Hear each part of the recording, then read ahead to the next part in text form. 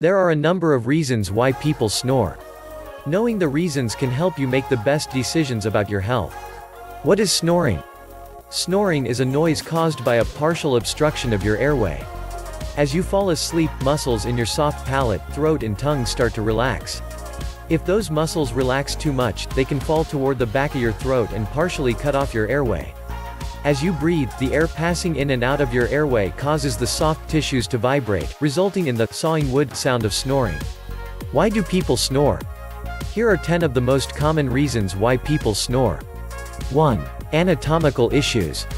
Some people might have issues with the anatomy of their upper respiratory tract or have obstructions which affect their breathing when they sleep, and therefore cause the snoring sound. 2. Breathing through your mouth when sleeping. Ideally, we should breathe through our noses. However, it's easy for our mouths to drop open and result in snoring. 3. Sleeping on your back.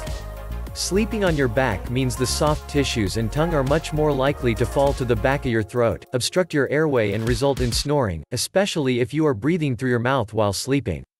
4. Obesity. Obese people are much more likely to snore. It might be due to position or more soft tissue, or a tendency to breathe through the mouth. 5. A dry environment. A dry environment can irritate the nose and even cause nosebleeds. This can lead to people breathing through their mouths, which can result in snoring. 6. Allergies and congestion. Those who suffer from allergies tend to get congested. Congestion can cause people to breathe through the mouth rather than the nose. 7. Drinking alcohol. Alcohol can make the soft tissues relax more, leading to more snoring. 8. Medications.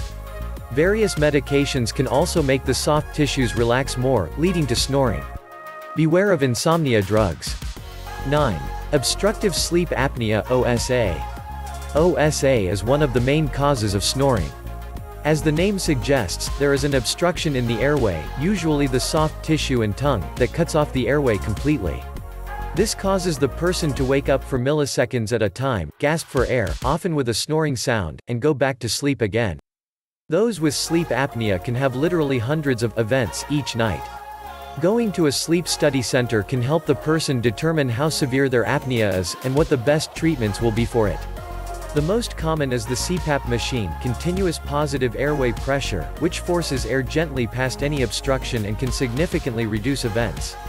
Not everyone can sleep with the mask on their face, however, so they might look for other treatment options. There are a number of other surgical and non-surgical interventions available. It will depend on your anatomy, type of apnea, and overall health.